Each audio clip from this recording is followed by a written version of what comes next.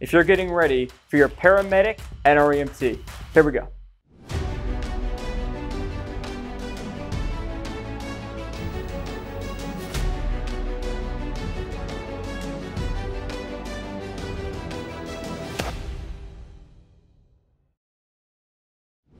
I'm so excited that you're here. I got the whiteboard out. We're going to be going over the first section on EKG waves and everything you got to know about these waves. Now, if you're new here or you've been here for a while, I want you to do me a favor. Hit like, hit subscribe, and make sure to comment down below which of these was your favorite lesson. Now, here we go.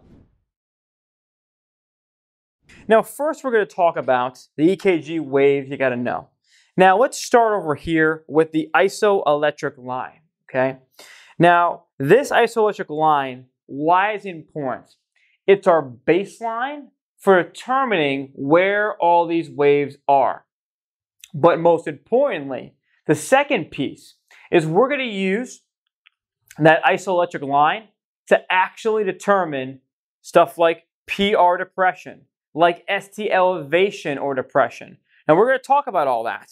But this right here, the isoelectric line, is the straight line, okay, that is in between the heartbeats, if you will, okay? It is the line before this slope starts for the P wave. Before the P wave starts, this is the isoelectric line that we're going to use. Now, what is the P wave? Here it is. Right here is the P wave, okay? Now, the P wave, what it is, it's the atria firing. It's the atria depolarizing, okay? So, when I say depolarizing, it is that portion of the heart's turn to go, to fire off, okay? If I say repolarizing, that's the relaxing time, okay? So the P wave, right here, that means it's the atria's turn, the top of the heart, it's their turn to fire, it's their turn to go. Okay? Now over here, from this beginning line of the P wave to the beginning of the Q wave is the PRI, which is so important. We're going to talk about in our second lesson on heart blocks. Now, the PR interval, okay? What it is, is that space from the beginning of the P all the way to the first section here. You can see the start of that Q. All right? Now, over here, we see the PRI duration is 0.12 to 0.20. That's a normal PR interval. Now remember, on EKG, 0.04 seconds, that is one small box.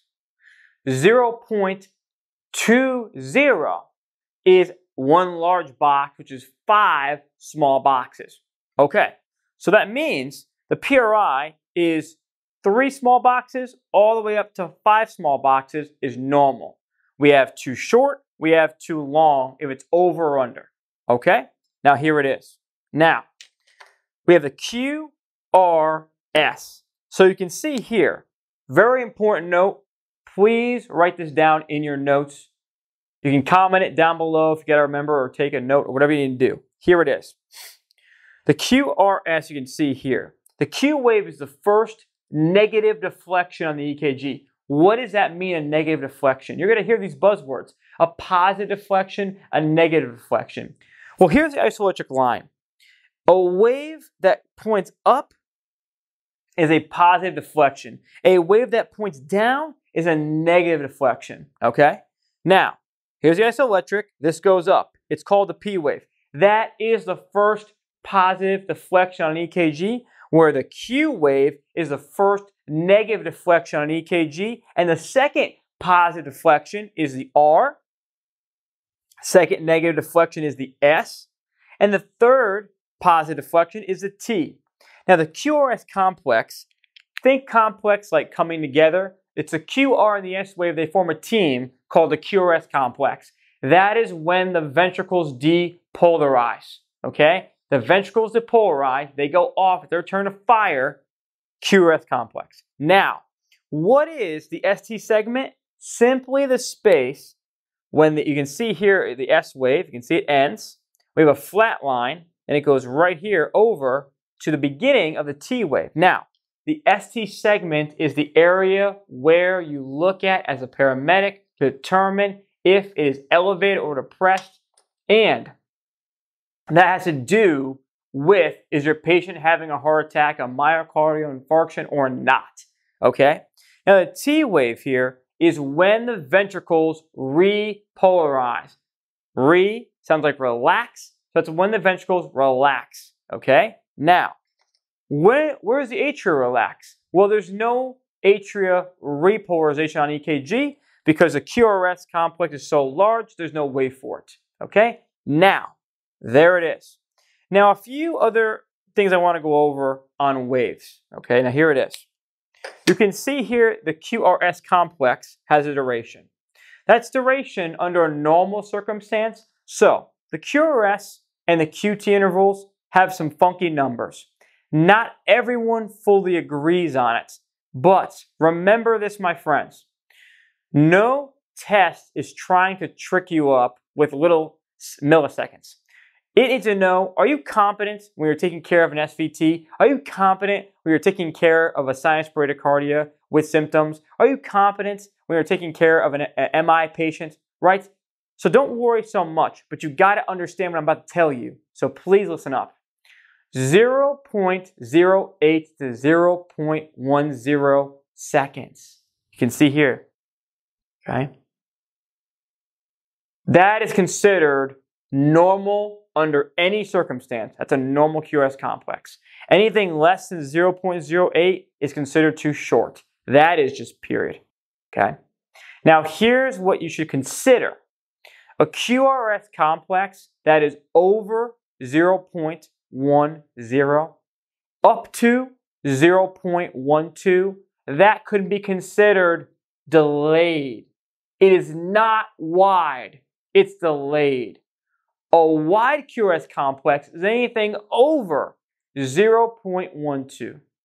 So a wide QRS could be abnormal electrolytes, right? It also could be certain overdose on medications. It also could be a ventricular rhythm, like a lethal arrhythmia, okay? So, just a few of the things that a wide QRS can be. A wide QRS is over 0.12. That is not good. Now, what did I write here about the ST? You can see here, equal to the isoelectric line watch out. My paramedics are watching this video, you gotta know this. You're getting ready for NREMT, this is so important. Look, the ST segment right here we do not, we, we're trying to see if it's elevated or depressed when we're looking at a 12 lead. What we do is we look over here at the isoelectric line. That's what we do. We do not ever look at the PR interval line over here, which is only part, part of the PR interval. We don't look at that. Because what if your patient has pericarditis and there's a PR depression? We don't do that. So we always say, okay, here's the isoelectric, Here's the ST. Is it, e is it up, down, or okay? Is it equal? Is it elevated, depressed? That's the key with the ST. Now here's the QT. A normal QT by the books could be anywhere between 0.4 and 0.44 for males, 0.46 for females. Now, here's where things get complicated about the QT interval. I gotta tell you the information. Now, here it is.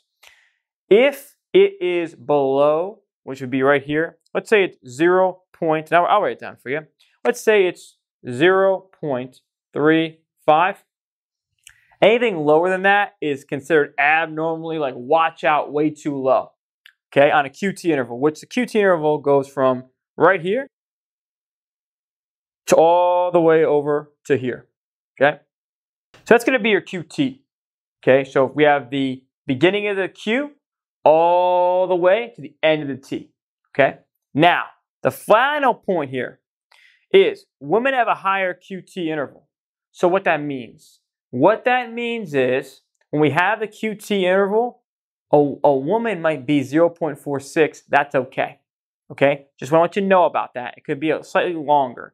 But what everybody can agree on, my friends, is if you have a QT interval over 0.50, that is abnormally high. If it's over 0.44 or 0.46, that would be prolonged delayed. If it's over 0.50, that's way too long. Okay, that's what we can determine. So here are the main players. That's way too low. That's way too high. Somewhere in this range here, it's going to be about normal. So on a test question, they may say the patient's QT interval is like 0.5 something. Is that normal? No. Okay. You got to understand this. This is all the ways, all the numbers that you need to know to get ready for your paramedic NREMT. So now we're going to move into another section. We're going to talk about heart blocks. A lot of confusion about heart blocks. Not after this video. I won't stand for it. Here we go.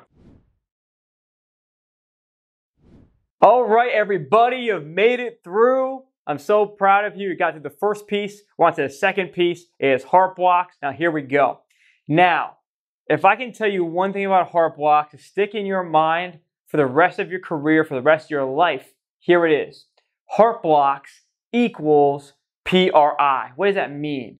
My friends, if you understand that, that heart blocks have to only do with the PRI, all you need to do is look at the PR interval on the heart block EKG that you're trying to assess, and you can understand in two seconds exactly what it is. Now, here we go. The first degree heart block is just a variant of old age. That's all it is. Okay? You, you will see first degree heart blocks multiple times throughout your career. You print it out, you look at it, usually elderly patient, and they're fine. Okay? Now, the first degree heart block is not a actual block. It's actually more of a delay of the PRI, the PR interval. So, all this is, is you notice that the PRI is over 0.2 seconds. That's it. Okay? It's oh, so you say here, here's an EKG, first degree heart block. There's no drop beats. Okay? Every single QRS has a P wave with it. There's no drop beats in a first degree heart block. The only thing I see in this EKG that makes it abnormal is the PR interval is a little too long. That's a first degree heart block. Usually, 9 out of 10 times, a variant of old age. Now, let's move on. Here it is, the second degree type 1, also known as the Wenckebach, also known as longer, longer, longer drops, longer, longer drops. Now, what does that mean? Remember, heart blocks equal PRI. So, with the second degree type 1, which I'm showing you the EKGs in the screen here as we go along, the second degree type 1 heart block, you'll notice the PRI, the PR interval, will get longer and longer and longer, and the beat will just drop. And it's a P wave with no QRS, then it does it again. Longer and longer and longer and drops a beat. That is second degree type 1, also known as Wenckebach. That is completely different from the second degree type 2. Because you'll notice with the second degree type 2, this, you're going to stare at that PRI, see on the screen here, the EKG, and you'll notice that the PRI is 100% constant until it drops a beat. So it's not delayed. It's not that it's longer, longer drops. It's a constant PRI. It stays exactly the same. And then a beat just drops. And then it goes back to being constant. And then it drops. That is second degree type 2. Third degree heart block. I give you the EKG, you look at it, here it is, and you say, I, if maybe you feel you say, I have no idea what's going on here. It's not delayed, it's dropping beats, it's not longer, longer drops, it's not a constant PRI. What must it be? It's gotta be a third degree heart block. That's what it is. Okay? So this is chaos. It's this this third degree heart block doesn't make any sense at all. It's not longer, longer drops. It's not a constant PRI.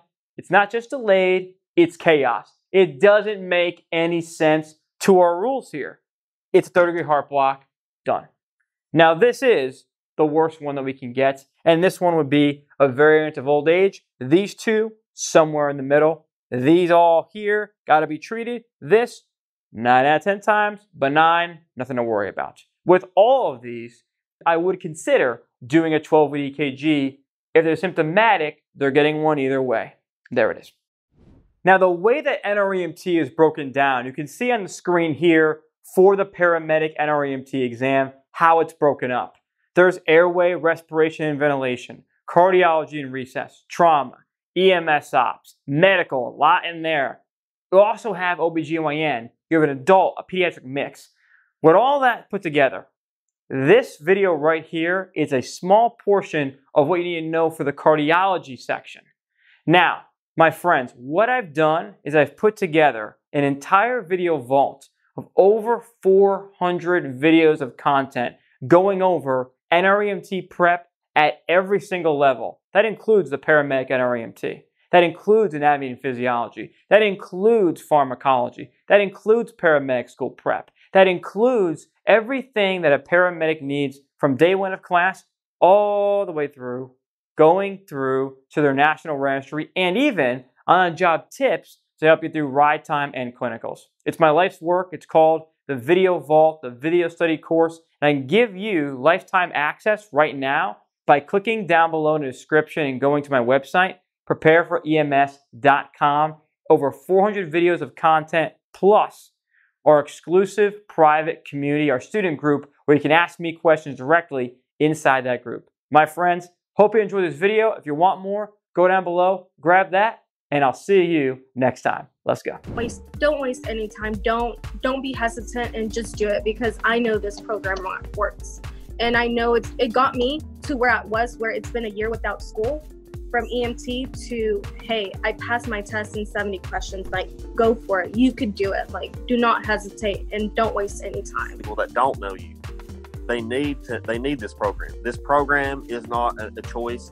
To me, this program is a have to. The people who are getting ready for paramedic school, or if you're getting ready to go in the Navy as a corpsman or as an Army medic, um, you got to prepare yourself. Evan, I know you got a program that helps people prepare that way. So, bottom line is, guys, you don't ever want to hear something for the first time with a bunch of other students. So if you're in a competitive learning environment, you don't want to hear about AFib for the first time with everybody else. You want to have an understanding of it before you walk in the room. You take uh, uh, thousands and thousands of pages in the books and you just narrow it down and just make everything simple past the registry. So uh, it's, it's, it's great content, man. I promise you, it's worth it. Took this with three weeks left to go in my class and I just, I'm not sure if I would have been able to pass my course or the NREMT first try without this course. The fact, like when I was taking the, the national and I would read the question and I, I would be like, whoa, Evan literally just went over this in the car. So it's, it really, it helps. I got to the point where I was just ready to spill all my knowledge onto this freaking test. So I'm like, you know what, man, just go ahead, go for it. Open it up. Boom, congratulations, you passed. It was um outside of having my children, man, it's probably the, like the happiest day of my life, bro, to be honest with you.